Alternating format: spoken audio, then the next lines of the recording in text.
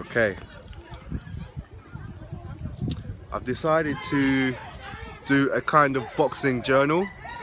So every time I have a um, reflection or, you know, revelatory moment in my training, I want to put it on here. And I think I'll call it boxing journal or boxing insights or boxing diaries.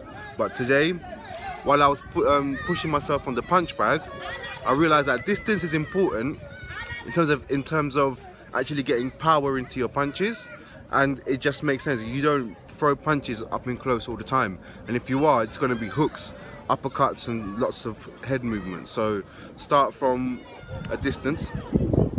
The heavy punch bag is always fun and it definitely has its purpose.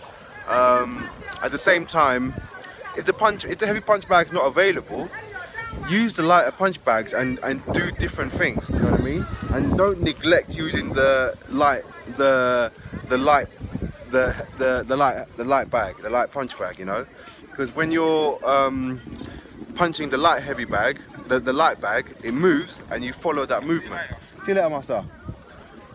So do you know what I mean? So like you punch it and it moves a lot more than the heavy punch bag but then you follow that movement and you punch it again. So that's training your mind to stay focused on your target which is your opponent and also to, to track movements better, you know? Because when you punch it, you know where it's going to move. If I throw a left hook on the light bag, it's going to go that way.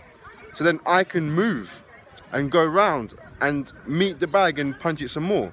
Do you know what I mean? So that's training my reflex times and my reaction times.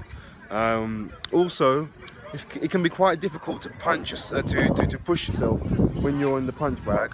And I say like try and give yourselves targets. Like today, my target was one punch and then two punches, three punches, four punches, do some jabs and then restart, do you know what I mean?